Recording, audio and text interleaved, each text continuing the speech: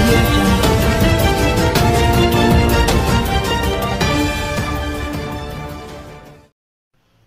అండి అందరికీ నమస్కారం. నేను మీరా వర్మకుల ఈరోజు మన ఆంధ్రప్రదేశ్లో జరుగుతున్న మన హిందువులపై జరుగుతున్న అన్యాయం గురించి నేను మాట్లాడదాం అనుకుంటున్నాను.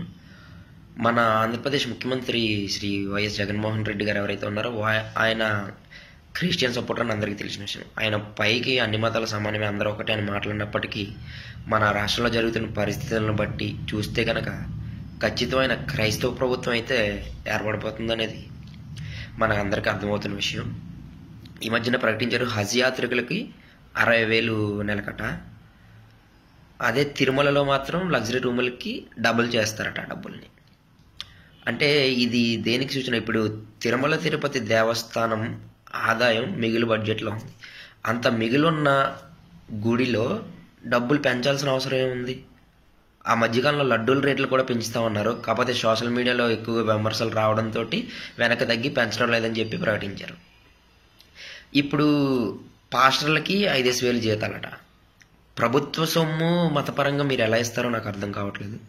ఒక విషయం ఇవ్వండి తప్పులేదు. ఇప్పుడు పాస్టర్లో పేదవాళ్ళు ఉన్నారనుకోండి ఇవ్వండి. కానీ క్రిస్టియన్కి పేరు మీద ఒక ఫండ్ని జనరేట్ చేయండి. వాళ్ళకి ఆ ఫండ్ నుంచి వచ్చిన దాంట్లో తీసేవ్వండి. అలాగే హిందువులకు ఒక ఫండ్ అలాగే ముస్లింలకు ఒక ఫండ్. ఎవరి నుంచి వచ్చినవి వాళ్ళకే వెళ్ళాలి. ఇప్పుడు దేవాదాయ శాఖ మాత్రం గవర్నమెంట్ ఆధీ ఆధీనంలో ఉంటుంది. క్రైస్తవులకు సంబంధించినవి ఏవి ఉండవు? ముస్లింలకు సంబంధించినవి ఏవి ఉండవు? ఏ హిందువులు అంటే లోకువా?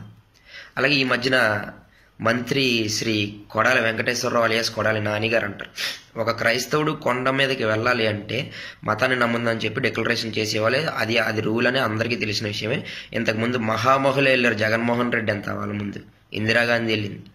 వాళ్ళ ముందు జగన్మోహన్ రెడ్డి ఎంత అలాంటిది వెంకటేశ్వరరావు పేరు వెంకటేశ్వర స్వామి పేరు పెట్టుకొని మంత్రి వెంకటేశ్వరరావు అంటాడు నీ అమ్మ మొగుడు కట్టించాడా? గుడి అని అడుగుతారు.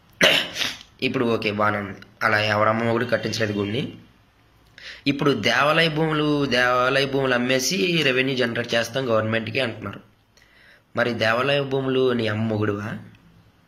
దేవాలయానికి నీ అమ్మ మొగుడు రాసి ఇచ్చాడా? నువ్వు నీ అమ్మమ్మగుడు పేరు చెప్పుకొని అమ్మేసుకుంటావా భూముల్ని?